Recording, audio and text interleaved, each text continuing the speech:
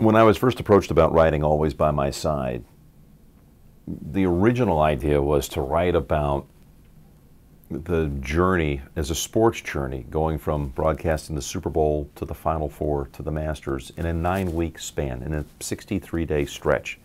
I didn't think it was going to be interesting to anyone. Uh, I knew there was a lot of hard work for me just to get through those uh, real treasured championships of American sport, but what's the hook for people? And then someone said, Well, why don't you write about your dad? You know, how you wish your dad could be with you on this ultimate father son sports journey. Well, as soon as someone attached my father to the book idea, you know, I started to get energized by it. And what it evolved into was my father was incapable of being with me for that nine week stretch, but I was going to find my father through others.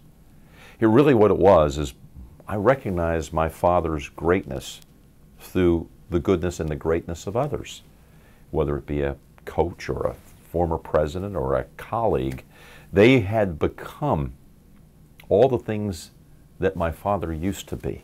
But now, since he didn't even know who he was, and at this stage of his life, really by 2007, he could barely even speak. You couldn't even understand. It was all gibberish when he spoke. So, the book had a very strong message about generations in respect between generations that sometimes I think that we lose a little bit in our culture. I was just raised as a young boy to respect the people above me, my elders, the generation, the generation above that. Maybe it, it has something to do with the fact that I grew up working at, cleaning golf clubs, playing around golf courses, being around the golf culture where there was a certain etiquette involved.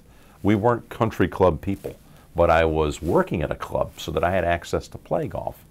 And I just learned through my parents, especially, and also through golf, just a, a code of honor, just a basic human decency and respect with the way that you treat people, the way you address people. I was raised in a yes sir, no sir environment. So my father wasn't around to be able to give me the kind of advice that I was seeking. But I could turn to a colleague, a friend, a mentor, a guiding light, a surrogate, and all of them became my father in a way. They didn't know it, maybe, but they represented my father. And that's why I came up with the title, Always by My Side. My father is figuratively still and always will be by my side.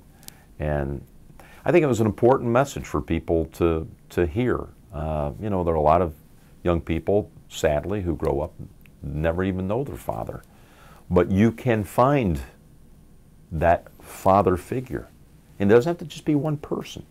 It can be a, a, composite, a collection of people who are there, who you trust, you admire, you respect with the way the way that they do things and you learn from them and you draw from them. You extract the goodness from them and you apply it to your own life.